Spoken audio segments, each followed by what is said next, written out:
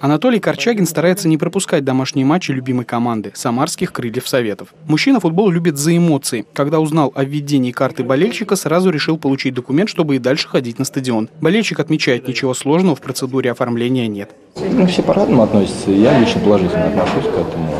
Я еще раз повторяю, что ничего вообще абсолютно сложного нету. Пришел, занял все, 10 минут максимум, это все.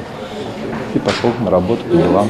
С 4 июля посещение официальных спортивных соревнований на стадионе «Солидарность Самара-Арена» возможно только при наличии карты болельщика. Ее должны оформить все участники события – зрители, гости, персонал, журналисты. Самый простой способ получения документа – заполнить заявление в личном кабинете на портале госуслуг. Подать его самостоятельно могут граждане старше 14 лет. Тем, кто младше, документ оформляют родители. После подачи документа необходимо подтвердить личность карты болельщика. Сделать это можно во всех 678 окнах 56 офисов МФЦ 37 муниципальных образований Самарского области. Карта болельщика с индивидуальным кодом генерируется в электронном формате и сохраняется в личном кабинете пользователя на госуслугах. После этого он, покупает билет, у него в личном кабинете на портале госуслуг формируется QR-код, который содержит всю информацию о матче, дата матча, место, где он сидит, вся полная информация.